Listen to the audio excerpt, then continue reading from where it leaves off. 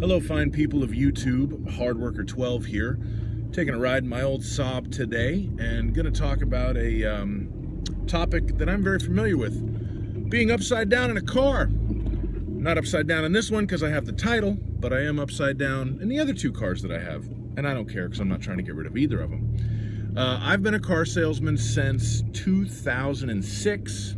So I have dealt with many customers uh, who are upside down in their cars. Upside down, tanked, buried, in it left, in it wrong, whatever you want to call it. You owe more on this car than what it's worth, and you want to trade it in and try to get something new.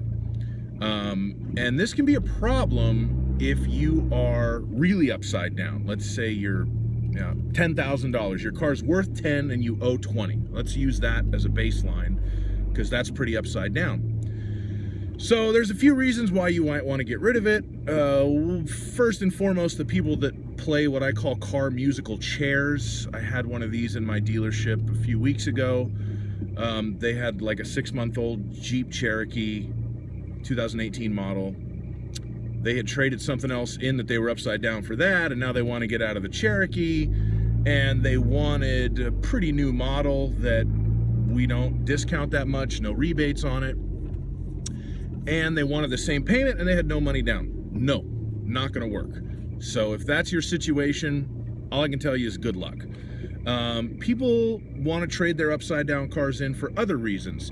You just lifestyle change. You have a Camaro, two doors, and you just had a baby and the Camaro's not working with the car seats and the strollers and everything else that a baby entails need a four-door car. Totally understandable. Maybe you just got a new job, now you have a long commute, you drive a big pickup truck, gas is killing you, understandable.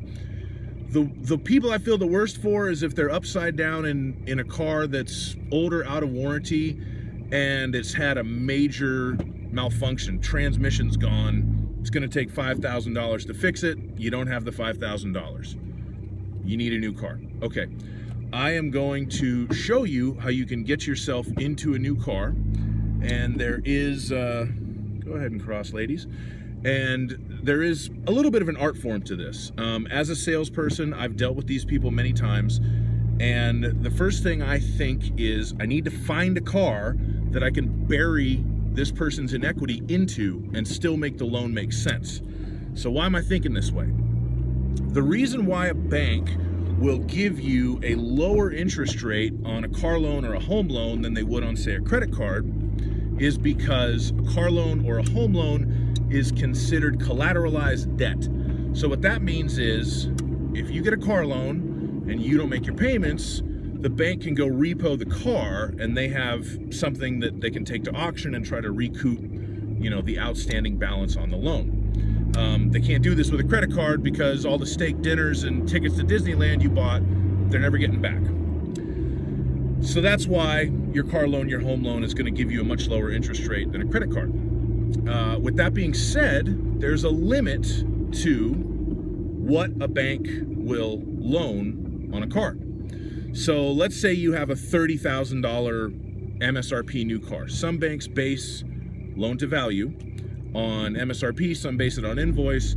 Just to keep things simple, we're gonna base it on MSRP of $30,000. Typically, somewhere between 120 to 130% of MSRP is what a bank is going to loan you. Again, depending on your credit rating. This is based on having good credit. So let's say you can get 130% on a $30,000 car. You can borrow $39,000 against this car. Well, you add in tax, license, registration, plus the $10,000 that you're upside down, we're over the limit. And this is kind of a best case scenario because some people will not qualify for 130% loan to value. Um, so how can we get around this? A couple of different tips. First of all, if you have access to a credit union, if you're already a member of a credit union, or if you can become a member of a credit union, do that and try to arrange auto financing through the credit union. The reason why I say this is that in my experience, credit unions will often extend a higher LTV. They may be more willing to give you that 130%, 140% that you need or you know if your credit rating is below 700 they might be willing to at least give you 110 or 115 percent um, when a regular bank would be less likely to do so. So try to become a member of a credit union do your research on your financing. That may help you get out of where you are. Uh, another tip and this is what i think about when i'm faced with this situation and i need to find something that I can put somebody into is you have to pick the right car. You can't be that picky. I'm sorry. I'm sure in your mind, I'm going to trade in this bucket that I'm buried in and I'm going to get X. I understand. Everybody has what they want. I get it. The problem is it may not be feasible um, simply because, you know, if you're looking at a new hot model, might not have the rebates, might not have the discounts that you're going to need to get that sale price low enough to absorb the inequity, which is why, again, when I'm faced with this situation on the lot, I'm thinking, what car do I have that I can put this person in? What programs do I have from the manufacturer that I can make this work with? Sometimes it's a used car, but used cars are really hit and miss. Um, it, it's really down to the individual car. So what I'm gonna do is I'm gonna get on my computer and I'm going to show you how you can find a car that you can unbury yourself with, that you'll be able to get a new car, get something that'll hopefully work better for your lifestyle or something that runs if you're just in a car right now that's jacked up and isn't running and you don't have the money to fix it, and you just want something else. Um, I'm gonna show you how to find that. So let's go home and get on a computer. Okay, so I'm back home and I'm on my computer and I'm looking for cars, which is one of my favorite things to do. So if you're looking for a car that you can unbury yourself with, that you can use to help absorb your negative equity, my first tip is to look at American cars.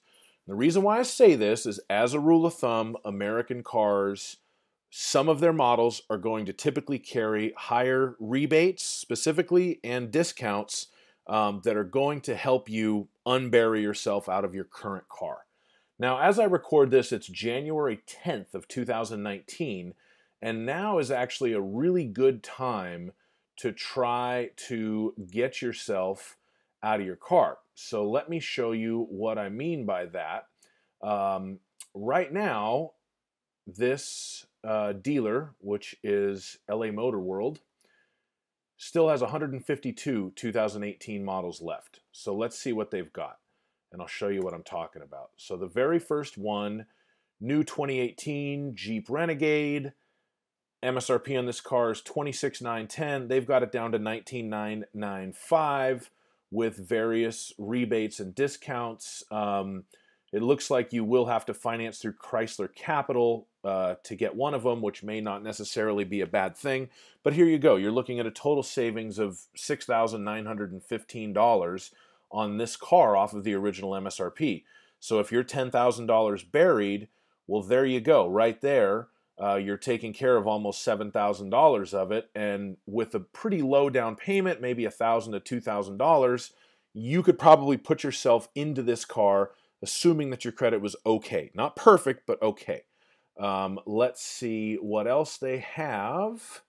I'm sure they've got something else that would work. Let's look at Chargers since I love Dodge Chargers. Here we go. This will this will be good. Okay. So similar savings here to the Renegade that we just looked at. The difference is this is a more expensive car. Uh, the more expensive the car, the more inequity you could bury into it. If you look at an MSRP of $38,000 and you're talking about a 100 and 30% of that, you know, you're getting close to $50,000 that you could possibly finance on this car, assuming you had good credit. Um, so with a net price of 31,245 with $10,000 in equity, even with zero down, you're well under where you would need to be potentially to finance this car. Um, if you do go this route, let me just give you a, a quick piece of advice. Please buy gap insurance.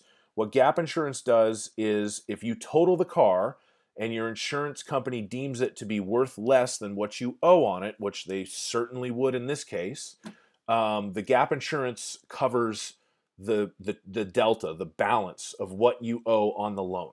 So you're going to save yourself some consternation there if, God forbid, the car gets totaled. Also, consider buying an extended warranty because you don't want to end up in the position, especially if you go with long term financing five, six, seven years down the road, um, where you have a major failure on the vehicle, engine, transmission, something blows up, and you don't have a warranty to fix it, and you're right back where you started being upside down in a car that's not worth anything that you still owe money on. So at least consider an extended warranty that will cover the term of the loan, however many years the loan is.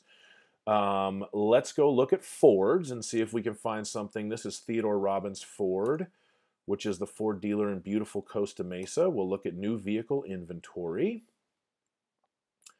And we are going to scroll down once again.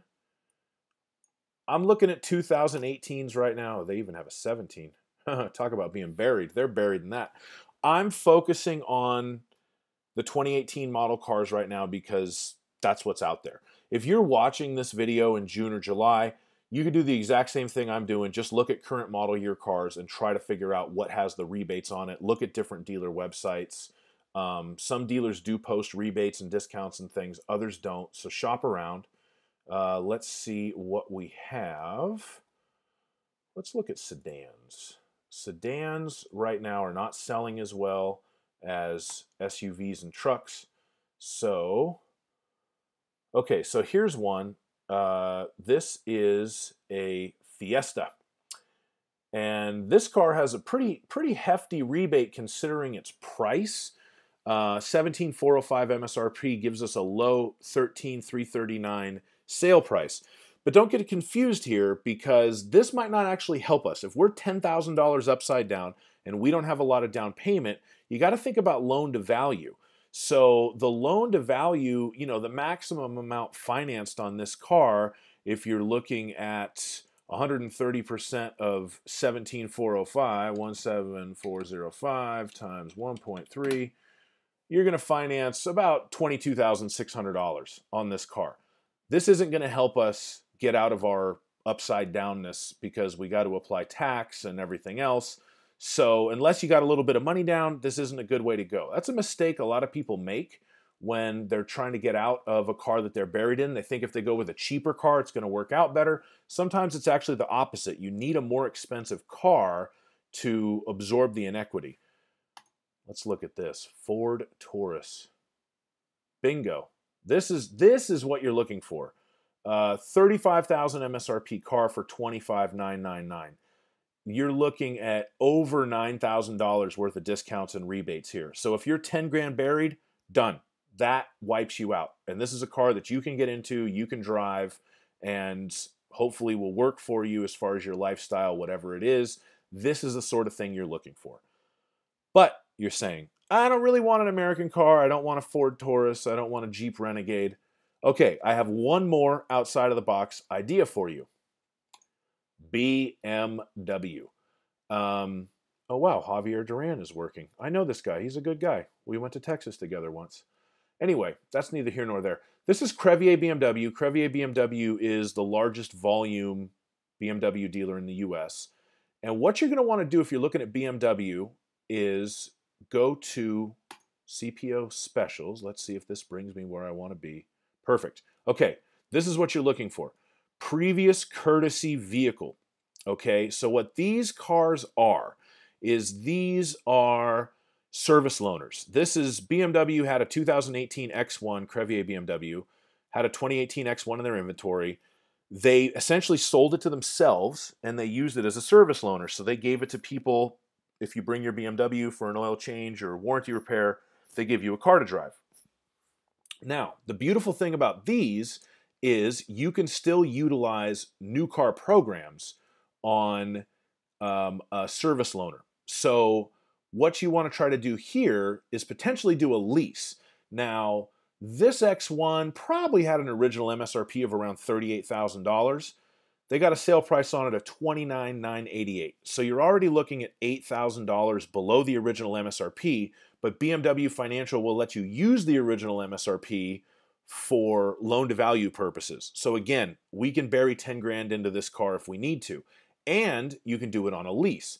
Now I'm going to tell you right now, don't get excited. You are not going to qualify for this 228 per month if you have an equity that you're rolling in because I'm sure this requires some down payment and blah blah blah blah blah.